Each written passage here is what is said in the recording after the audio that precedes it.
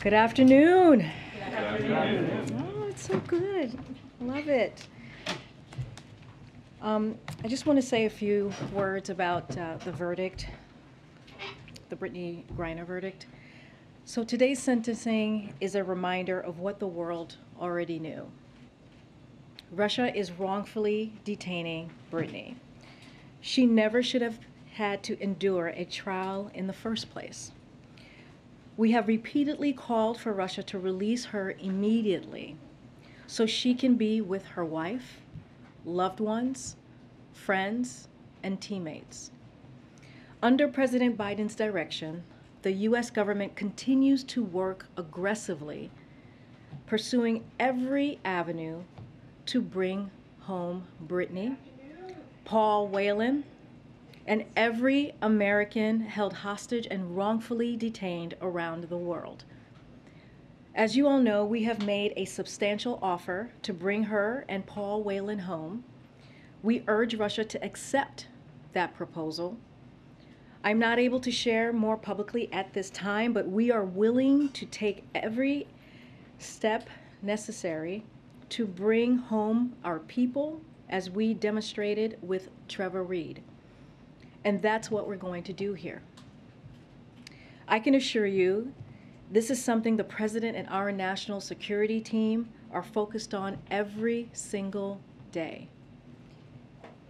The President receives regular updates about the status of our negotiations to secure Brittany's release, as well as the release of Paul Whelan and other U.S. nationals who are wrongfully detained or held hostage in Russia and around the world. So we will continue, our, we'll, we'll continue to, to focus on getting our U.S. nationals um, home. So additionally, as you have you might seen, you have might seen, the People's Republic of China launched 11 ballistic missiles towards Taiwan. Uh, to speak on this and other foreign policy news of the day, National Security Coordinator for Strategic Communications, John Kirby, is here to join with join me today, and uh, he'll take over and take your questions. Afternoon. As uh, Karine alluded, and I'm sure all of you have covered, overnight, People's Republic of China launched an estimated 11 ballistic missiles towards Taiwan which impacted to the northeast, the east, and southeast of the island. We condemn these actions, which are irresponsible and at odds with our long standing goal of maintaining peace and stability across the Taiwan Strait and in the region. China has chosen to overreact and use the Speaker's visit as a pretext to increase provocative military activity in and around the Taiwan Strait. We anticipated that China might take steps like this. In fact, I described them for you in quite some detail just the other day, Monday. We also expect that these actions will continue and that the Chinese will continue to react in coming days. The United States is prepared for what Beijing chooses to do. We will not seek, nor do we want, a crisis. At the same time, we will not be deterred from operating in the seas and the skies of the Western Pacific consistent with international law, as we have for decades, supporting Taiwan and defending a free and open Indo Pacific. To that end, Secretary Austin today has directed that the aircraft carrier USS Ronald Reagan and the ships in her strike group will remain on station in the general area to monitor the situation. We will conduct standard air and maritime transits through the Taiwan Strait in the next few weeks consistent, again, with our long standing approach to defending freedom of the seas and international law. And we will take further steps to demonstrate our commitment to the security of our allies in the region, and that includes Japan. Beijing's actions are of concern to Taiwan, to us, to partners around the world. You probably saw the G7 yesterday rejected Beijing's attempt to coerce and intimidate Taiwan which is a leading democracy. The nations of ASEAN also released a statement overnight about the importance of de escalating tensions in the Taiwan Strait. And today, the Japanese government reported that five PRC missiles landed in their exclusive economic zone, noting their grave concern. Another example of how China's actions are undermining peace and security in the region. And we're going to continue to communicate, communicate closely with our partners around the world, which we have demonstrated over and over again is a strength of this administration. Beijing's provocative actions are a significant escalation in its long standing attempt to change the status quo.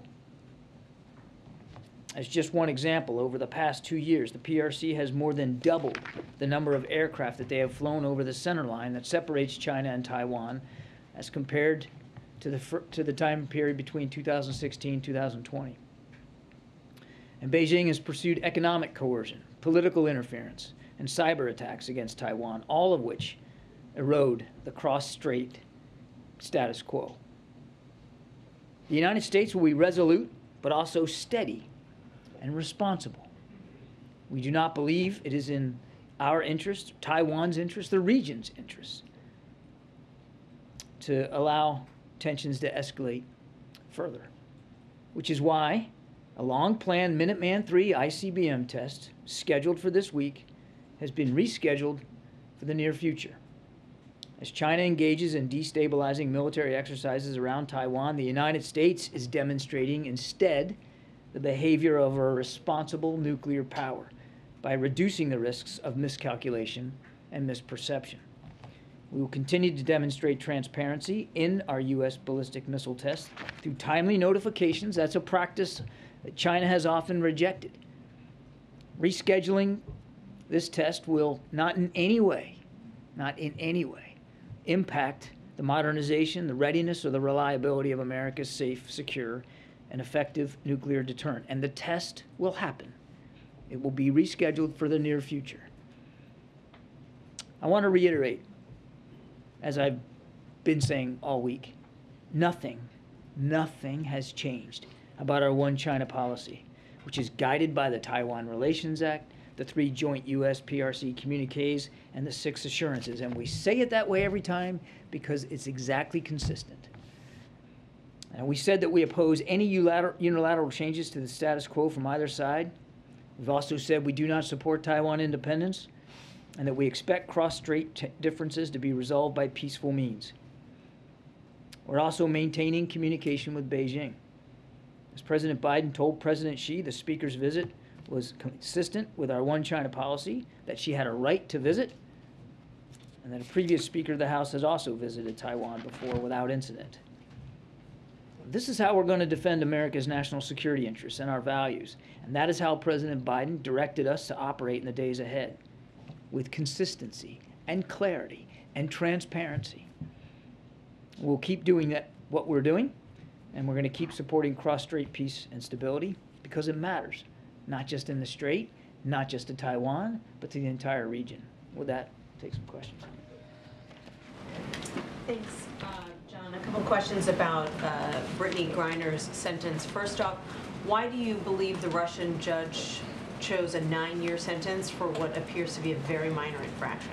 I certainly can't get inside the head of a Russian judge. Um, what we we have seen similar maximal maximum sentences for drug charges of foreigners in Russia. They typically, it's just historically speaking, foreigners that are arrested on drug charges and then convicted uh, under their system tend to get much higher sentences than would be uh, Russian citizens. But I honestly can't speak to it. I will tell you that. Uh, as Karine rightly said, she shouldn't have even been on trial. She's wrongfully detained. Uh, absent that, uh, we, we find the, the sentence reprehensible in its, in its scope. You know, you've, uh, some details of the U.S. uh, prisoner swap offer have obviously been public. Do you think the Russians would ever accept a prisoner swap that wasn't one for one or two for two, two of our prisoners for two of theirs? That's a better question for the Russians. What I can tell you is that we put forth a serious proposal. And I, I know everybody is making some assumptions here about what that proposal is. I won't go into detail uh, about it. Um, but it's a serious proposal. We urge them to accept it. They, they should have accepted it weeks ago when we first made it. Why did you make the details of that offer, or the fact that you made an offer Yeah. public? Doesn't that encourage Russia, or really Yeah. any bad actor, to um, take more Americans prisoner, thinking the Americans are going to be willing to deal? Yeah, Tyler asked me uh, that same question, uh, I guess, a week or so ago. Uh, We didn't make it public, we didn't make the decision to make it public lightly. I mean, it's not the kind of thing that you typically do. But what was happening in her case uh, a week ago, what wasn't happening in our negotiations a week ago, um, and in the context of, of her having to, to testify in her own defense at a sham trial, um, all of that played into our decision to, uh, to at least make public the fact that there was a proposal. It was in, uh, it was an earnest attempt to see if we could get to some outcomes here. Um, and we're still gonna, we're still gonna keep making those attempts. Thank you so much. Um, You had called a counteroffer by Russia unserious, um, which involved their offer that the U.S. release a a convicted Russian national who's being held um, right. in Germany, convicted of murder. Is it still an unserious offer? Are you giving it another look in light of the sentence? Nothing's changed about our uh, position on that, uh, uh, on that, uh, uh, on that, on that topic. I mean, I, I don't think we'd go so far as to even call it a counteroffer. Um, President Biden said today, um, in response, my administration will continue to work tirelessly and pursue every possible avenue to bring Brittany and Paul Whelan home safely as soon as possible. Does, is that a suggestion that he's willing to go even further? Is there more that the U.S. can do to, to pressure Russia to accept this offer? I think Karine covered it really well in her opening statement. I mean, the president's laser focused on this, and he, he and the whole team are, are working this literally every day. Um, and just like I won't get into the details of the proposal that uh, that we've put forward, I, I don't think it would be helpful to Brittany or to Paul for us to, to talk more publicly uh, about um, about where we are in, in the talks and uh, and what the president might or might not be willing to do. I just want to, again, reiterate what Karine said. It- He wants to see Brittany and Paul home, and he's personally involved in, in seeing, to, to making sure that that outcome happens. And- and Very quickly, has the president spoken to Brittany Griner's family? Um, Does he plan to do so?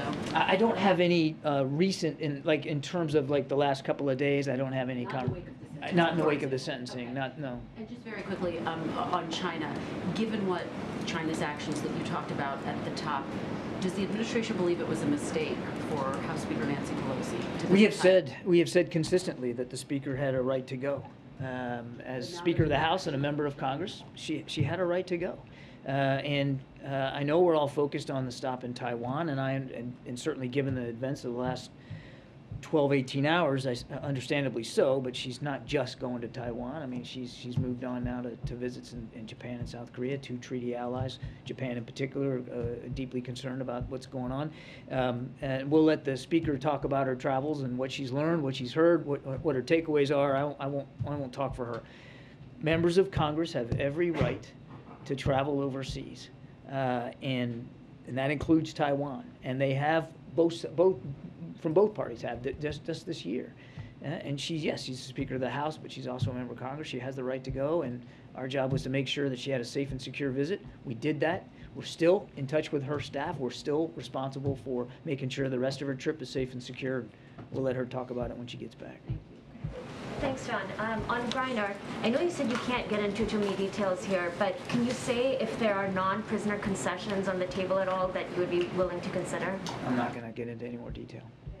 Okay, And then on China, um, is the president considering another call with President Xi at all, given how these these escalating uh, tensions? I, I don't have any call on the uh, schedule to, to talk to or to announce. Is that being considered at all? I- I'm, I'm not going to get ahead of the president's uh, schedule. Uh, As I said in my opening statement, the, the lines of communication with China are still open at different levels, of course, um, but I, I won't get ahead of the president's schedule. Thank you, uh, and and thanks so much, John. So you've explained what the U.S. is trying to do in terms of uh, sending out military, uh, military, the USS Reagan to the region to ensure, I assume, She was already in the region, yeah, but understood. Okay, so that, I assume that's also part of uh, keeping shipping routes and um, open and safe Uh, I understand that the Taiwanese president is also saying that she's in contact with U.S. allies to ensure that airports and seaports remain, remain open. Is that also part of the uh, what the administration is trying to do here? And and the other thing is just to touch on on the kinds of communications that you're having with the Chinese government. Do you believe that at this point there is a diplomatic off ramp for uh, for this crisis? Well, we certainly would like to see the tensions de-escalate, um, and if that's best done through uh, diplomacy, um, th- the United States would f- fully support that. Uh, we we want to see the tensions come down. I would submit to you that they could come down very easily by just having the, the Chinese stop these uh, th- these very aggressive military drills and flying missiles uh, in and around the Taiwan Strait. You don't need diplomacy to just simply stop doing something that's uh, that's escalating the tensions and putting uh, peace and security in, in the region at risk. Uh, look, the Ronald Reagan and uh, her escort ships, very capable uh, strike group. Uh, they're there to monitor the situation. Uh, they'll, they'll, they'll be there for a, a little bit longer than they were originally planned to be to be there. Um, again, I won't get ahead of the ship's schedule, but um, the president believed that that it was the prudent thing to do to, to to to leave her and her escort ships there just a little bit longer. We just, just to follow, is there any kind of support that the U.S. is providing to Taiwan in terms of protecting uh, it in the context of cyber security attacks? Uh, I think that's also something that the Taiwanese are concerned about. Yeah, look, I, I, I for, for lots of good reasons, uh, uh, we don't talk about um, steps we take either unilaterally or bilaterally in, in cyberspace. Um, we are committed, as we have been now for decades, to Taiwan's self-defense. I'll leave it at that. Give us a sense of what Griner's sentencing may mean for negotiations. Her Russian lawyer had said that a deal wouldn't be possible until after she was convicted and sentenced. So now that that's happened, is it more likely, you think, that we may see them willing to negotiate? Essentially, does a conviction open new doors for negotiation? That's really up to the Russian side. Uh, we're still we're, we're still open to having our proposal seriously and positively considered. And um, uh, if on the Russian side that means that they feel like they're more empowered to do that, then so be it. We want them to take the offer that's on the table because it's a good one, it's a fair one, um, and it'll help bring Paul and Brittany home. And if and if if this is what's gonna it's gonna take to get them to, to yes, then then okay, let's get to yes. Let's get them home. And it has been now almost a week since Secretary Blinken and Lavrov spoke over the phone. Have you gotten any serious signs from Russia that they're willing to negotiate? Is there any glimmer of progress since then in the last week? I, I'm not going to negotiate in public. Uh, uh, uh, conversations are ongoing at various levels, and I'll just leave it at that. And just to follow up on Nancy's question, what message do you think the Russians are trying to send to the U.S. by giving Brittany Griner so severe a sentence? Again, I, can't speak for the Russian judge, um, and um, and your question presupposes that it's a message-sending exercise. Maybe it is, maybe it's not. As I said, the, historically, possible it's not? historically, what we've seen is uh, uh, foreign-born citizens uh, that are arrested and convicted of drug charges tend to get, just historically, anecdotally speaking, tend to get higher sentences, almost to the max, which in many cases is 10 years uh, in Russia, as opposed to Russian-born citizens of, of the country uh, convicted uh, of the same offense. It's just it, it tends to be the case there. So I honestly, I just I wish I could get inside the judge's head. I can't do it, um, so I can't define why he chose nine years. As I said to Nancy, it's a reprehensible sentence. She shouldn't have been on the uh, on trial to begin with. Um, but that and that again, that's why we I think that's why you saw the president come out so strongly uh, against this uh, this sham trial to begin with. But to be clear, you, do you think she's being used as a political pawn here? Uh, we think that Brittany and Paul Whelan are being wrongfully detained. They are being wrongfully detained. They need to, to be let go. They need to come home. We're going to keep working on that. I, I cannot ascribe Russian motives or intent here. I just, I, I just, it, it, it wouldn't be appropriate for me to try to speculate what's in their heads. All I can do is tell you where President Biden is and the national security team. Wrongfully detained, need to come home. There's a deal on the table. Let's make the deal. Let's get them home. I'll come back there and Peter and then, Thank- and then I'll come back. Thanks, John. Why is it that over the last couple of months, President Biden has been so much tougher on Russia than he is on China? I wouldn't agree with the premise of the question, uh, Peter. Well, I think just, uh, when Russia was getting aggressive around Ukraine, the president was out every couple days telling Putin, don't do it. And now China is getting aggressive around Taiwan, and we're not hearing anything like that from the president. Oh, beg to differ. We've been standing up here for almost a week, Peter, talking about uh, uh, our concerns about uh, what China was preparing to do. We put out uh, declassified information that we saw what, the Chinese playbook was going to be. Uh, look, I stood at another podium uh, not long ago, and much of the same way we we uh, reacted then, we're reacting now in terms of being honest and transparent about what's going on and calling it out for what it is. Um, and then today, talking about exactly what we're going to do to make sure we can help preserve a free and open Indo-Pacific. So I'm, I'm afraid I just challenged the premise of your question. I know you said that there is not a call scheduled with Xi. Is there a reason why? Because President Biden's known him for decades. Yeah. He's got a lot of free time up there in the residence this week. He doesn't have free time. He, he's, Is there a he's, reason he can't he's- just pick up the phone and he's call? been working all the way through his illness, quite frankly, Peter. So that's a little bit insulting. And um, as for a It's not call, insulting it to- to it say is. That, the, that someone who is isolating by themselves. You suggested he has a lot of free time as if he's not doing anything, and you know that's not the case, Mr. Doocy. Now, look, as for a call with President Xi, I don't have anything on the president's schedule to speak to. If ever the president felt like a call with President Xi was the appropriate way to respond, or that it would uh, that it would have an effect and an outcome that he wants to achieve, he certainly would be willing to do that. He's talked to uh, Xi now five times. It's not like he's afraid to pick up the phone and, and call uh, President Xi. And if there's a, a, a if a call is the right answer, um, I'm sure that President Biden will do that. But I'm not going to get ahead of the president on this. I do want to stress. I said it before, but I, I do think your question begs me to say it again, that the lines of communication are still open with Beijing, and we're using those lines of communication. And I think you'll see that uh, in days to come as, as well. That's really important. And that's one of the reasons why President Biden made that call a week or so ago, was to make sure, and you saw it in Karine's readout, to make sure that uh, those lines of communication stay open, and, and they are. Jeremy, and then I'll come to the back.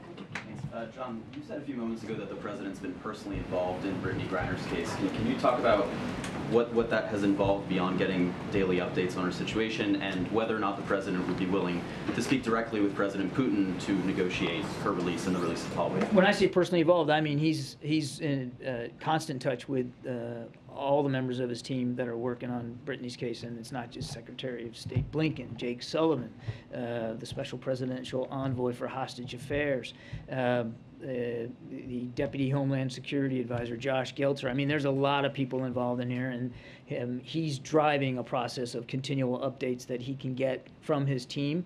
Um, he's offering guidance uh, to them as needed. Uh, you've seen that he has talked to Mrs. Griner uh, herself, uh, and uh, certainly would expect that he's going to continue to have those kinds of conversations going forward. He's staying focused on this. And as for speaking with President Putin directly? Oh, I'm sorry. I, I- again, I don't have similar to, to the president. I don't have any um, uh, calls to announce or speak to uh, with uh, with President uh, Putin. The, the president is comfortable that the proposal that we put forward is a serious one, uh, and he urges the Russians to accept that proposal so we can get Brittany and Paul home. And then you, you talked about the decision to make public that you had made an offer to the Russians. Uh, and you suggested that part of that was perhaps to put some pressure on the Russians because they hadn't been really all that responsive. Do you feel like making that offer public has changed anything? Has changed the status quo? Have you achieved the desired outcome of that, of that decision? Well, she's she's not home. Neither is Paul. So uh, can, can we say that making it public had a direct line to bringing them home? Not yet, but we hope it will.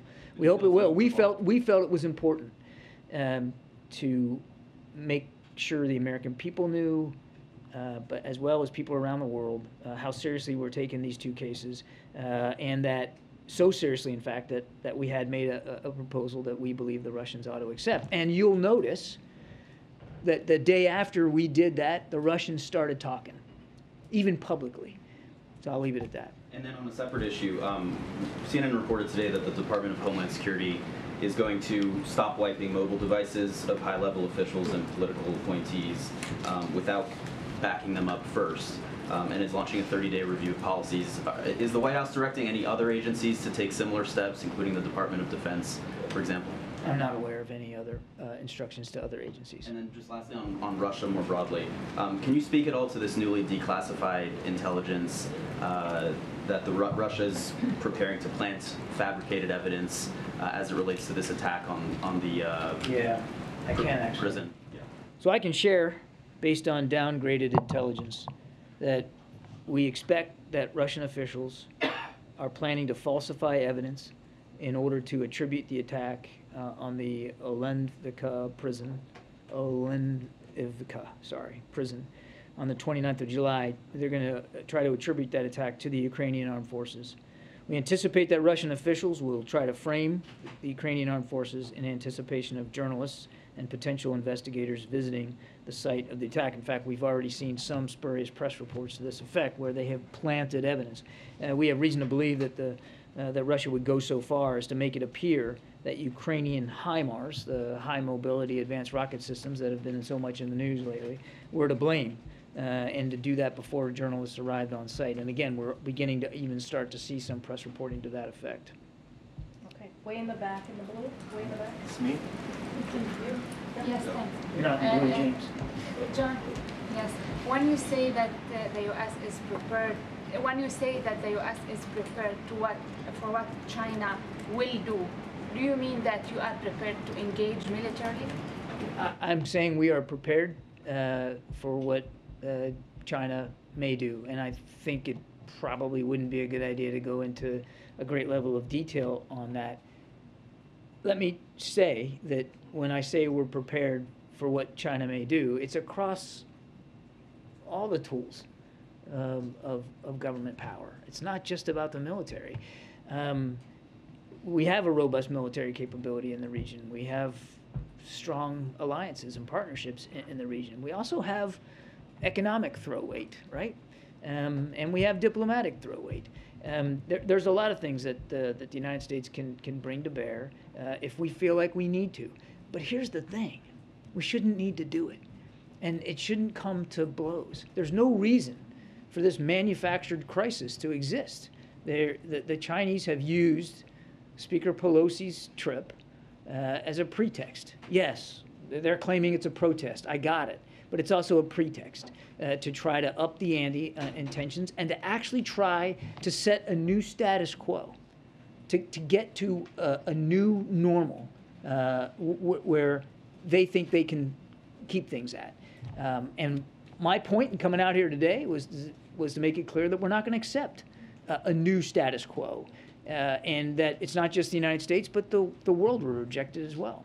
After the last talk between President Biden and Xi, there were indications that a meeting between uh, uh, between the two presidents may take place. There's, there was a room for that. Given the current situation, do you think there's a room for a meeting between the two presidents? Nobody's ruling out the possibility for a meeting between the two presidents. Uh, Phil, then Ed.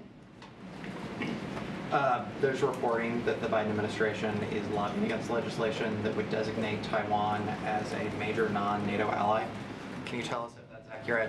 And as we move towards what President Biden has often described as an era of autocracy versus democracy, um, should we be strengthening ties with Taiwan by entering into such a designation? I uh, think we're, uh, with respect to this proposed legislation, I, I think uh, we're going to avoid too much comment right now. Um, we certainly appreciate and respect uh, the, role of Congress uh, and, frankly, the support uh, across the aisle uh, this year and so many years in the past for uh, for support to, to Taiwan. Um, but I don't think it behooves us to try to get ahead of some proposed legislation before it, it moves uh, it moves further on down the down the ways.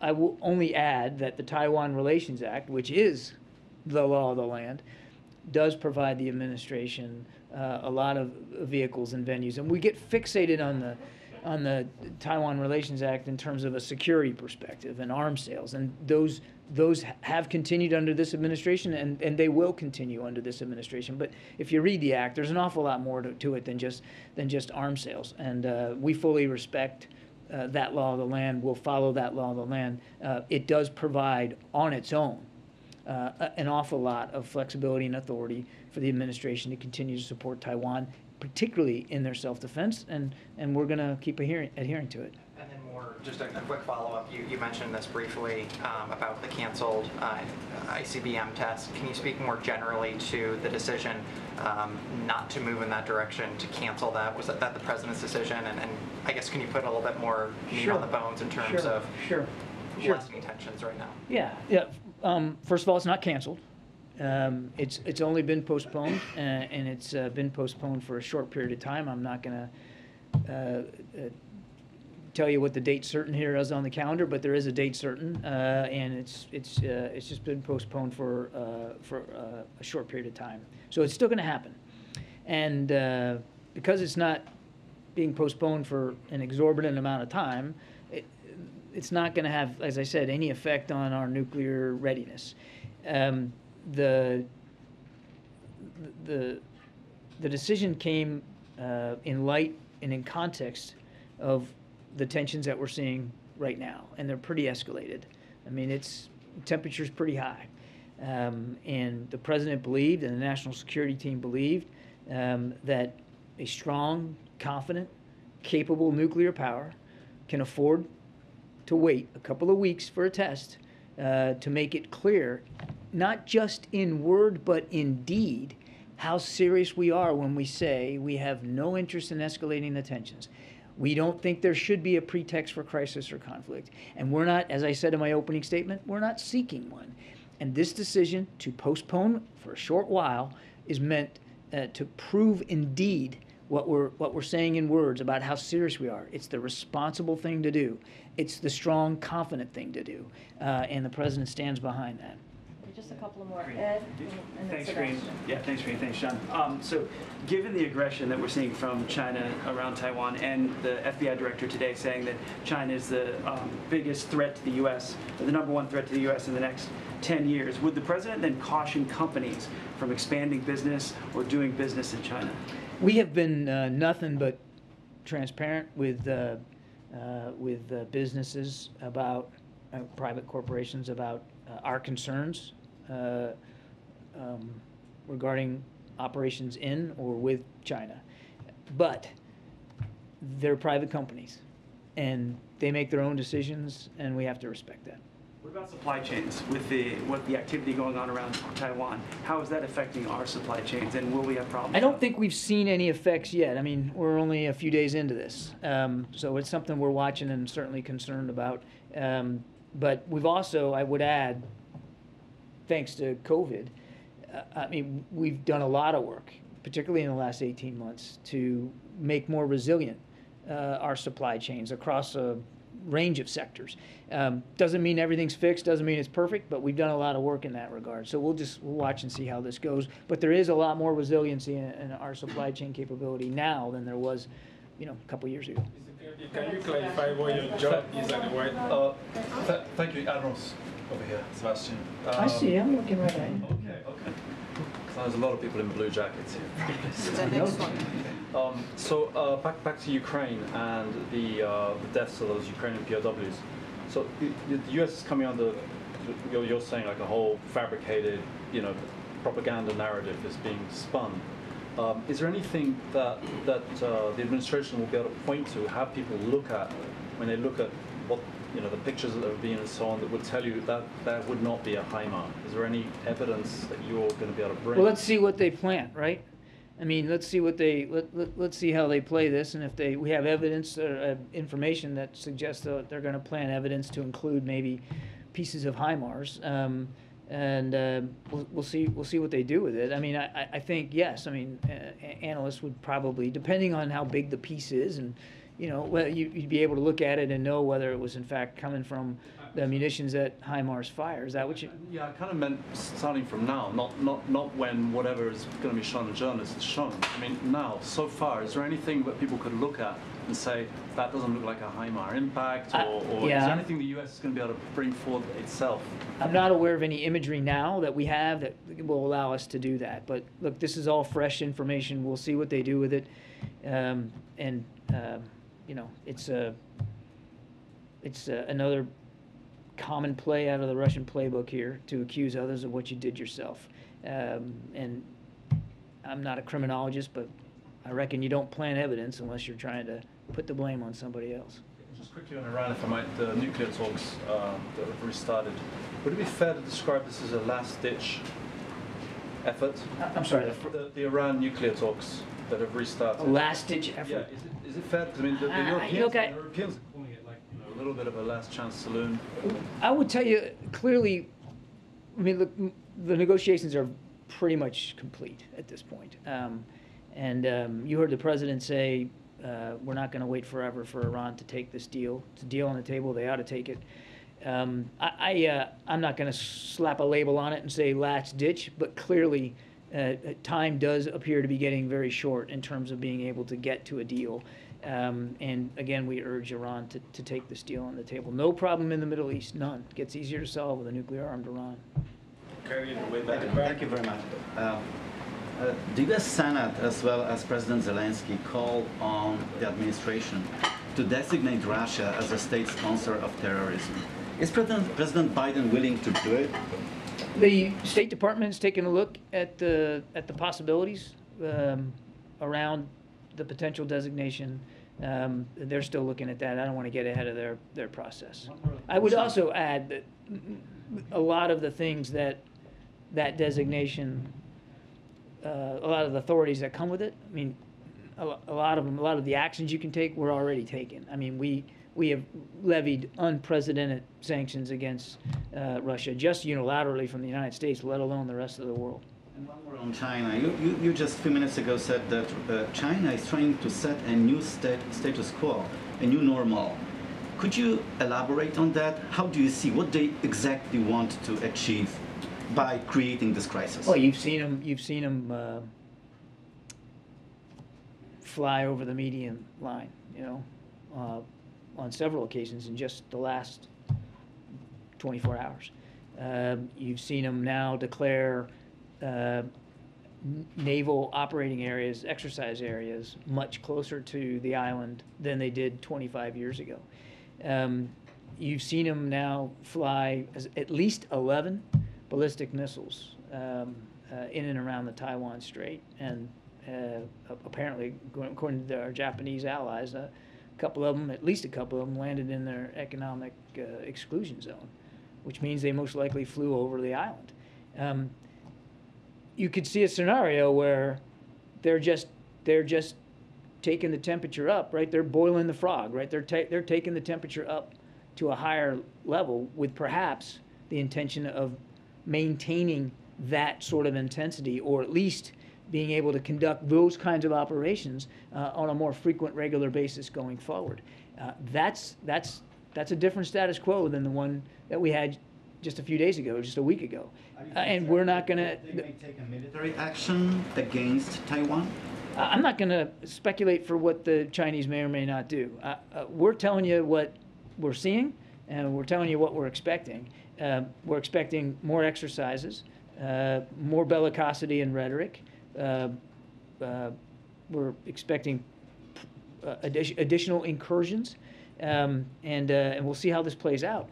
As I said, there's no reason for this to erupt into a crisis. There's no reason for this to come to blows. And nobody wants to see that happen. And I'll tell you this having operated a little bit at sea myself, the, the, the more hardware you have in close proximity like that, with tensions as high as they are, the higher risk you get of miscalculations and mistakes. And that is what could lead to something getting a, a, a lot more dangerous than it is right now. Okay, we have to wrap it up. crisis right now? question. Kirby, can you clarify Who's what, that? Who's that? what- So- can you clarify Thank you. what your Yes, sir. job at the White House is? You said that our Can policy clarify toward? China has been consistent. Your name is Simon, right? Yeah, I really Si- want to ask you a Simon? question. Simon? I've been- Simon? I've trying to ask you this question. Simon. If, if you allow me to ask you the question. Sir, I'm gonna, I'm gonna call on this man, now, sir, listen now, I've been polite to you, but I expect a little bit of respect in return. You know, you know where we are, is the White House press briefing room, and you need to be more respectful. I'm gonna call on this reporter. You described our policy toward China Job as the House consistent and clear, but auditioning to replace the U.S. policy toward Taiwan is also described as strategic ambiguity. Don't you think it's sort of that ambiguity that has allowed tensions like we're seeing now have developed? No, we would not agree with that at all. No. So on the subject of Americans detained abroad, the United Arab Emirates detained an American lawyer, a man named, uh, let's see here, uh, Asim Ghafour. He is an attorney who's previously represented Jamal Khashoggi. Um, it happened shortly before the president's trip to Saudi Arabia. Is there anything you can say about administration's efforts to free him or um, sort of any conversations? There, there's not a lot I can say about this particular case, sir. Uh, we're, we're certainly uh, aware, we're monitoring. Um, I would refer you to the State Department uh, to, to speak more on that. I'm afraid I just am not able to talk much about that particular individual in that particular case. Hungary's head of state, Viktor Orban, is coming to the United States. He's going to speak at a conservative political conference in Dallas. Has the administration been in touch with Hungary at all over the trip? Is there any planned conversation that might happen? No and no. It's a private visit. Is the administration concerned at all with sort of uh, an, an authoritarian-leaning leader coming to the United States to pursue this? He's coming at a sort of private, private invitation, um, and uh, Mr. Orban and uh, the CPAC, they can talk about his, his visit. Thanks, everybody. Appreciate it. Thanks, Mr. thanks, John. Kennedy, can you react to a letter that you received today uh, from a law firm in DC? Okay, all right, we'll continue with that. Um, so we all we all know how annoying it is when your flight is canceled or delayed, uh, and then it either takes forever to get your money back, or you only get a flight credit for that airline. I'm sure many of you have gone through that last several months. Uh, today, the Department of Transportation issued a new rule to fix that. If your flight is canceled or delayed three hours for a domestic flight or six hours for an international flight, you must get a refund within seven days of a refund request if you paid by credit card. That refund policy also applies if they change your arrival airport, if they add more stops, or if they downgrade the class you're flying in. The rule also has new protections if you can't fly due to a pandemic or medical advice. Under the DOT's proposal, when that happens, you're entitled uh, to a non-expiring travel credit or voucher or a refund if it's an airline that got government assistance during the relevant public health emergency. With that, Josh, you want to kick us off? Yes, thanks, Karine. Yes. Um, tomorrow is Jobs Day, which is like Super Bowl for some of us. Fridays. Is it really? Look, there are a lot of nerds. Wow. And I don't follow the super, I don't follow football, but wow. I'm just That's- saying, and 12 Super Bowls a year is great. Um, Sounds exhausting. Friday's employment report is expected to show that job gains last month slowed to 250,000 from 372,000 in June. Does the administration view this as a sign the economy is healthy? So, as we've been saying for many months now, we are in a, um, and the president, including the president, has been saying that we are in a transition to a stable uh, and steady growth. And during that transition, what you'll see is instead of that record high uh, breaking number, job numbers that we've been seeing every month in the realm of 500,000 to uh, 600,000 jobs on average per month, uh, we're expecting uh, at, at- to be closer to uh, 150,000 jobs per month. And so that would actually uh, sign, that will be a sign of, uh, of a success of, of this transition. And this kind of job growth is consistent with the lower, uh, the low unemployment uh, numbers that we've been seeing, that rate of 3.6%. And we see that, and others have seen that, see that as a healthy economy. We'll jump around. Just quick one, one quick one.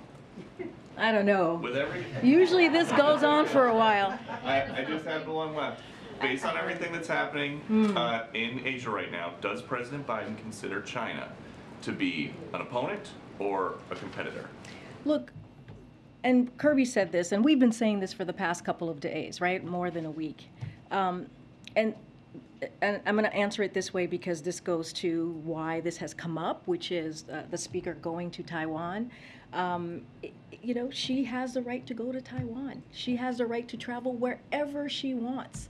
Uh, she is the Speaker of the House. She is a member of Congress. We can, we will not ever tell her where to go. And we've been really clear with with China. We've we have said the, no policy changes at all. the one China policy stands. Uh, and, and the president, just a week ago today, spoke to President Xi. It was the fifth time that they spoke. They have a, continue to have an open, uh, an open dialogue. Uh, and so that is, I, I just want to make that really clear uh, and just, you know, they're, they're the ones escalating here. Just the relationship moving forward, though, would he consider China a competitor or an opponent of the United States? I mean, look, when we, when you think about, um, when you think about our economy, when you think about uh, uh, how we're competing around the world, around the globe, you think about the CHIPS Act, right, and the CHIPS and Science Act. Uh, one of the reasons uh, we talked about making sure that that got done in a bipartisan way, we saw that happen uh, just a couple days ago, is we want to be able to compete, right? We want to be able to compete with China. Uh, and we want to be able to have those manufacturing jobs, investment in uh, in the United States, and also strengthen our supply chain, make sure we strengthen our national security. So, you know, as as it relates to that in that in that um, in that realm, uh, you know, yeah, we want to be competitive as a country. Okay. Thanks, Frank. When was the last time President Biden spoke with Senator Sinema? Uh, don't have a call to read out to you at this time. Can you tell us how he views his role in getting the Inflation Reduction Act over the finish line? I know you've been asked some version of this question probably every day this week, trying to take another stab at it though. Um, what does he think he needs to do? Is he going to be picking up the phone? Will he be inviting Senator Sinema here? What, how does he view his role? Well, I, I can tell you f- how he v- views this anti-inflation uh, piece of legislation. He's grateful for it. Uh, he thinks it should be passed. Uh, he thinks it's going to change the lives of middle class Americans across the country. When you think about the prescription drugs, when you think about lowering utility costs, this is going to be critical. When you think even about the ACA provisions, lowering uh, healthcare costs as we talk about premiums and how important that is to many Americans. So that's how he sees his role in continuing to talk about it. We have been talking about these pieces, these components of this legislation for some time now. And so he's going to continue to have conversations. Our, our team is going to continue to have conversations with members of Congress. And but he's been very clear. He wants to see this pass and, and to his desk so he can sign. Given how important he believes it is, as you just laid out, he took a decidedly step back and let Senator Schumer and Manchin really be in, the two engaged in the negotiations to get uh, the Inflation Reduction Act to this point. So I guess the question is, does he feel like he wants to have a more direct engagement in these final round of negotiations with Senator Sinema asking for changes? So what we've been pretty clear about, I think for about a year, actually probably since the beginning of this year, is that we were not going to negotiate in public. Uh, we believed uh, that uh, the Senate, the House, they need to do their work.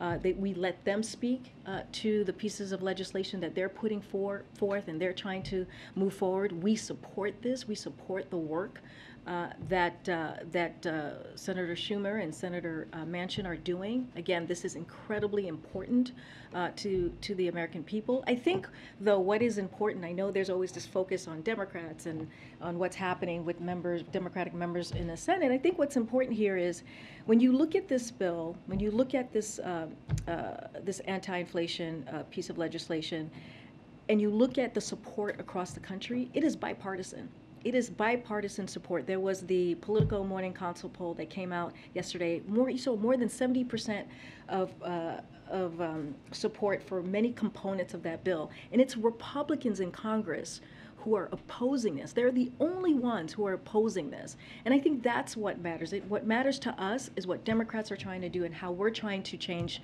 the lives of the middle class. Just very quickly, Senator Sinema is not yet supporting it, and based on our reporting, she um, is opposed to closing the carried interest tax loophole. Would the president support a final piece of legislation that did not include that? Look, what we, and I, I can't speak for Senator Sinema, I'm not going to. Uh, she can speak for herself. Uh, I know that uh, she's more than capable of doing that. What I can do is speak for uh, this president and how he sees uh, this piece of legislation that is so critical and important. And when you think about the corporate uh, tax component, that 15%, you have corporations who are paying zero dollars, zero dollars and this is an opportunity for to close that loophole. Uh, we've heard from many experts uh, talk about how uh, you know that that 15% uh, on corporate uh, corporate corporate businesses uh, is going to make a difference. Uh, it's going to be able to add, bring uh, add that 300 billion dollars uh, so that we can bring down the deficit. It's going to be able to have um, uh, Americans have lower costs, and so that's what we see and we think, and we have been very clear on that. How important it is to have to close that loophole and make sure that we're not increasing taxes on middle class Americans that are making less than 400,000. And that does this. This act does that. Great. Uh, we have, we've seen big oil companies um, report huge profits yet again in recent days. Um, but since gas prices have started falling, we haven't seen the same level of criticism from this administration. Are, is, is profit taking in that industry and a lack of investment in production still a big issue for So- the Biden administration? So can you say that one more time? Sure. Uh, uh, we've seen big oil companies take big profits, make big profits in, in the recent days. Um, we haven't heard the same level of criticism from this administration um, since gas prices started falling.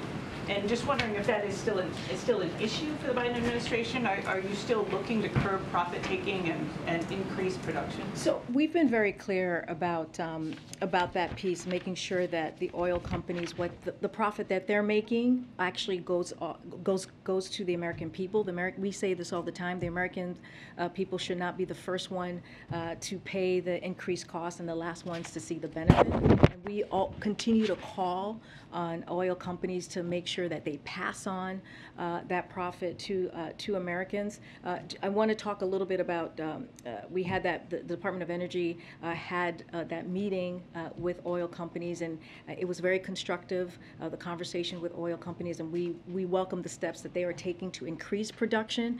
For example, just want to give you a couple of examples. After discussions with the Department of Energy, one company just last week announced that they are bringing back refinery, refining capacity at a New Jersey facility, so that is important.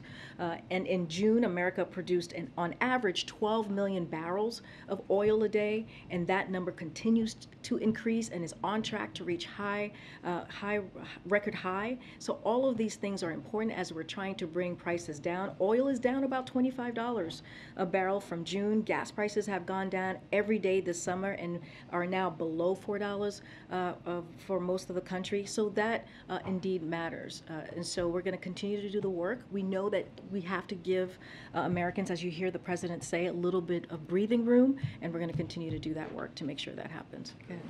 Thanks, Karine. Um, does the president have any plans to uh, intervene or fire um, the Inspector General of the Department of Homeland Security, Joseph Cuffari? No. We asked uh, your predecessor, Jen Psaki, about this in um, in April when um, the leadership of the Senate Judiciary Committee, Senators Durbin and Grassley, expressed concerns about him. Obviously, this was before some of the, the concerns that have been raised in recent days about January 6th. Um, and she said that she would follow up on that. I'm wondering, have there been any conversations in the White House about There's no, his leadership? there's no personnel um, uh, updates that I have for you at this time. Look, the president has been very clear, I think I answered some of this yesterday, that he believes in the independent role of the inspector generals and that they serve an important function in ensuring accountability for the American people. That still stands. He believes that.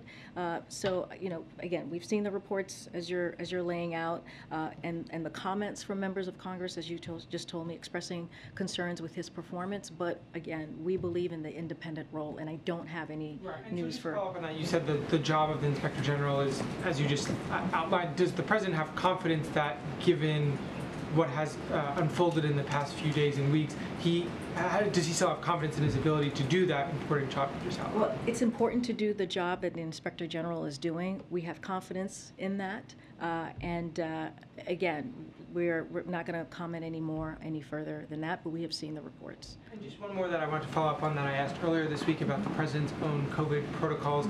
Um, as soon as he uh, tests negative, is he fully free from isolation, or is there? I know other White House staffers have been um, required to test negative twice before returning to work. What are the protocols for So basically for isolation, uh, you know, today is day five uh, of the rebound, because this is not, this is a a rebound, not the, the the first, the first, I don't want to say bout, because this is a continuation, it's just a rebound. And so he'll, re- will remain, uh, he will re- remain isolated until he tests negative, uh, as we previously stated. And so the when when we're doing that test uh, to uh, make sure that he's negative, that is above and beyond, as you kind of I think we're alluding to. That's that's what the White House protocol is uh, for us, and so he we won't see him again until uh, at least uh, in person. You have, guys have seen him virtually, and he's been working uh, from the White House residence uh, these past couple of days uh, until he has at least in person until he has that negative test. Just one day, the first time he tests negative, he will be. Well, the last time we shared, uh, because of his unique role, right? He is the president, and we've tried to make sure that uh, we protect all of you and we protect the staff. Uh, we did do a, a, a two two tests and make sure they were both negative. Karine, can I follow up on, on Tyler's question, please? Thanks, Karine. Um, on the issue of the Chinese tariffs, the president has been waiting for some time whether or not to ease some of those tariffs. And just given the aggressive action we've seen out of China since Speaker Pelosi's visit, I'm, I'm wondering, will that factor into this decision on the tariffs at all, or does the White House see those as two separate issues? I, I'm not going to go into any uh, uh, detail of the thinking of how we're moving forward uh, with the Chi- with the China tariffs. Uh, I know it's been on, on the questions of on the minds of all of you, a question that's been out there. Uh, the president is taking this decision very seriously, and once we have it, once we uh, once he makes his decision, we will share that with all of you. Uh, thanks, Karine. Just to put a finer point on, on Tyler's question, uh, so it, will it be two negative tests this time or just one?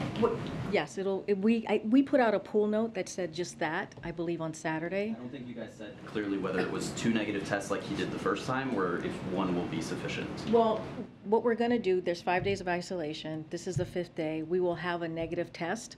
Uh, it is, you know, it is up to his doctor uh, to decide, uh, you know, uh, if there will be a second one. Well, what we did last time, what I can speak to, and we share that, the, the, the his uh, personal physician shared this, that they did two negative tests uh, because of the unique role uh, that he has, and that is something that his doctor uh, decided. And, and then on, on monkeypox, um, we learned in the last 24 hours that the Department of Health and Human Services failed uh, to ask that the bulk of the stocks of, of the vaccine uh, that it already owned be bottled for distribution uh, quickly enough. And does the president feel like his administration and the Department of Health and Human Services in particular has acted with enough urgency to confront this monkeypox? So I want us to take a step back on this because this is really important, uh, and I know that uh, many folks have questions about this, and we are going to do everything that we can uh, to end this outbreak. That is our commitment, uh, and that's what we're going to uh, make sure uh, that we do that. So as you all know, the monkeypox outbreak has evolved rapidly and uniquely from prior outbreaks. So we are in a different, uh, it's a different dynamic than it was uh, the last couple times because monkeypox has been uh, here in this country before. And so we have aggressively responded uh, at different stages of this outbreak. Uh, and so just wanted to give you a little bit of that context because it's spreading in, at different phases here. Uh, so First, within two days of the first conf- confirmed case of monkeypox in the U.S., we began deploying vaccine to states and jurisdictions and pre-positioning tens of thousands of additional doses in the strategic national stockpile. The initial science led us to believe, and this I think will answer your question a little bit, uh, based on recent past monkey monkeypox outbreaks, that those doses would be sufficient to meet the needs of the country, as what we knew at that time, because it's dynamic, it's changing, and so. But however, infectious diseases are dynamic, as I just said, and unpredictable, inherently unpredictable, uh, which is why as soon as we saw that uh, this outbreak was different and transmitting much more rapidly, uh, we quickly moved to order tens of thousands uh, of more doses. So just to give you a little bit of the numbers that we have, we have made more than 1.1 million doses available and shipped more than 600,000 uh, doses. Those are currently uh, out there going into jurisdictions uh, to states. And so, and, and with more being delivered each day, we also have ordered 5.5 million additional doses, which are helping us get more doses out uh, sooner, knowing that more are on the way. Uh, so this is this is just part of the process and what we have been following the science uh, and making sure that uh, we are, you know, we are rapidly. Uh, um, uh, reacting to this, and that's what we've been doing this past couple days. there is currently a mismatch between the number of doses that the government has in bulk, the number of doses that have been bottled and sent out to state and local authorities, and, and then the number of doses that are actually needed, does the president feel like his administration has acted with enough urgency? I mean, what we're what we're saying to you is that I laid out how dynamic and how rapidly changing uh, this virus has been, uh, and I'm and also, you know, we we just had they just held HHS just held uh, a press conference and talked about this. That's why we kind of moved the briefing so you all can have a sense uh, to hear what to hear directly from them. There was the 600,000 that they talked about. Uh, they went from testing capacity from 6,000 to 80,000 a week.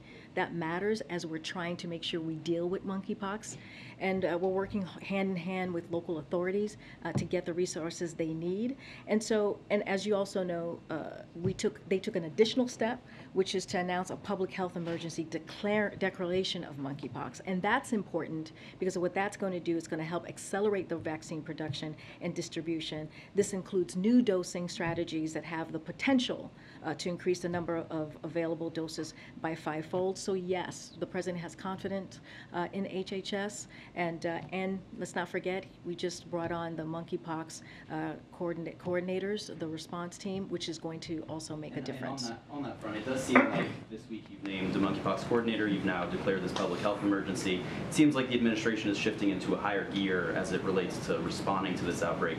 And I'm wondering, was there any new information that led to uh, these these steps and that higher gear response? Um, because you know the WHO, it was nearly two weeks ago that they called this effectively a, Well, a public health I think I, I think I answered that in the first uh, question that you asked, which is the dynamic of this uh, of, uh, of the virus has changed. It's spreading a lot more rapidly uh, than it had in previous times. And when we when we first uh, when the first two cases uh, came uh, were we- were known by the CDC back in back in May, we we were meeting the moment at that time, and so now it's again it's spread much more it's spreading much more rapidly. Uh, it's the dynamic of it has changed. Uh, that tends to happen inherently with viruses. And so this is what we're doing right now uh, to make sure that we are uh, responding to the needs of jurisdictions and states The way back. I haven't called them back. Yeah, thank you very much. Can you uh, go back to this event earlier today? J- Mary Barra of GM was there uh, uh, talking about the Inflation Reduction Act. One of the debates currently among Democrats is the electric vehicle subsidy provision. One of the senators from Michigan has been, been objecting to that. Uh, can you say whether the president discussed the EV provisions in that at all with the participants in the call beyond the public media portion? So I haven't gotten a download from that call, and uh, we were busy doing many other things uh, uh, before coming out here, so I, I can't speak to that uh, specifically. bill. Uh, Senator Klobuchar has uh, a big tech bill, the American Innovation and Choice Online Act, that looks like it's spilling to September. Senator Schumer looks like he's planning to bring it to the floor in September. Does White House have a view on that, on that bill coming to the floor for a vote in September? The anti-big tech bill, which would, or the big tech bill that would prevent those platforms from giving preference to their own products. Well, I mean, we're, we're trying to deal with the, all the, the pieces of legislation we have. We, there's a lot going on. We're trying to deal with what we have in front of us. Um, I would have to. Uh, yes, yes, we, we, uh, we, we are aware of that. I, I would need to just talk to the Office of Ledge Affairs to get more specifics and details on, on where we are. Uh, on that, as you know, uh, reform in, in the tech, uh, tech industry is something that's very important uh, to the, to the president. We've talked about that many times in the past 18 months, but I, I don't want to get too, I don't want to get ahead of our team. Uh, and finally, on the, going back to the monkeypox issue, do you have a sense of whether there's, will be a need for new funding from Congress for this? Yeah, a- again, I would, I, we are, we have been asking for, as you know, uh, new funding, uh, additional, yeah, for the COVID response. Um, Again, I would just have to uh, get in touch with our team. Uh, In some, at some point in the next couple of days or weeks, we will have uh, uh, the monkeypox coordinators here in front of you, and you all can, can uh, get to know him and, and both of them, and ask your questions. Okay. Afghanistan, please. Afghanistan. on uh, Secret Service. Thanks, Craig. Oh, Uh, I oh, would. you wanna do this guy? You Yeah, do and this? I'll, I'll come you after, after you. Cool. I just haven't, I, I don't see you very often. I see you all the time. Just to follow up on the monkeypox updates, California, Illinois, New York have all declared uh, states of emergency each. But due to the fact that most of them will be, uh, how will declaring monkeypox as a public health emergency affect colleges and universities in those states, particularly that have already declared state of emergency? how the states for, for themselves, I, you would have to, uh, that, you would have to talk to the states directly on, about, on that piece, uh, because that's their own state emergency, public emergency. Is there any plan from the White House or any um, guidelines that would possibly come down looking forward to uh, essentially explaining what the colleges and universities should do? We don't have anything for you at this time, but I would go to the state specifically. Uh, you talked about California, you talked about New York, uh, having their own state of emergency. I'm sure they have plans as schools are opening back up and dorms are opening back up. I'm sure they have specific guidelines uh, to that that I cannot speak to from here. Yeah, there was a report yesterday that Kyrsten Sinema, um, number one, she wants to nix the carried interest loophole, which is like a $14 billion revenue raiser, and also she wants 5 billion in drought resiliency funding.